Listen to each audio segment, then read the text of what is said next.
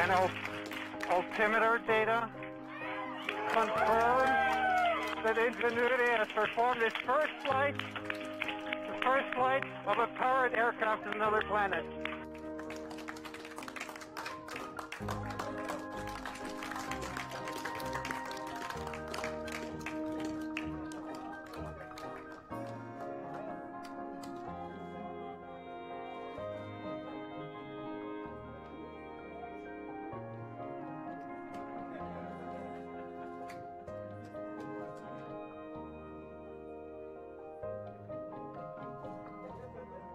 So the image we're looking at on the screen is the image from our onboard navigation camera showing us hovering above the surface of Mars. How incredible!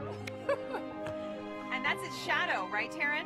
yes, that's its shadow. So the onboard navigation camera points straight down, so we're seeing its shadow right now.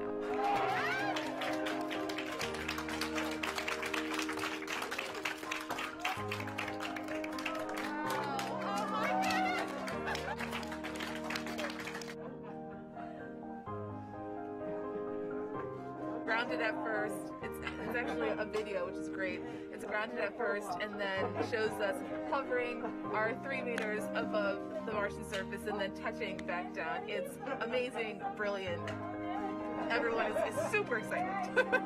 So I would say it's a success. I would say.